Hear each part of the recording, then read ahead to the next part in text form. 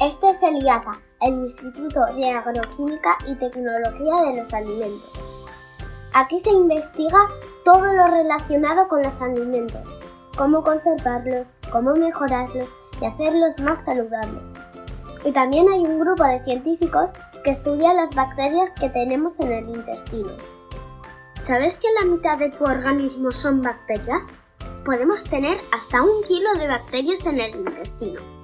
En nuestro intestino hay muchas clases de bacterias y todas juntas forman nuestra microbiota.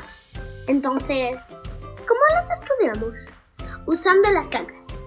Sí. Sí. Nuestra caca está formada casi toda por bacterias. Por eso nos sirven para averiguar lo que pasa en el intestino. En la microbiota hay bacterias malas que si crecen mucho hacen que nos pongamos enfermos. Y bacterias buenas que nos dan nutrientes y combaten a las malas. Y es que lo que comes también se lo das a tus bacterias. Cuando tienes una enfermedad, también sufres la microbiota, pues cambian las bacterias de tu intestino. Tu familia, los animales, el aire del campo y todo lo que te rodea contiene bacterias que van a enriquecer tu intestino. Aquí estudiamos cómo influye la microbiota en nuestra salud y si está relacionada con problemas como alergias, obesidad, diabetes, y se investiga incluso su conexión con el cerebro.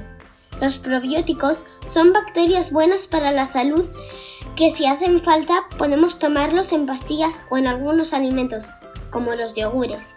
Algunos alimentos también están enriquecidos con prebióticos que son el alimento de las bacterias buenas. Pero lo que más influye sobre nuestra microbiota son los antibióticos. Los tomamos cuando nos ponemos enfermos para matar a las bacterias malas, pero también matan algunas buenas. Por eso es muy importante tomarlos solo cuando lo dice el médico. ¿Cómo puedes cuidar tu microbiota para mantener sano y ser más sano de mayor?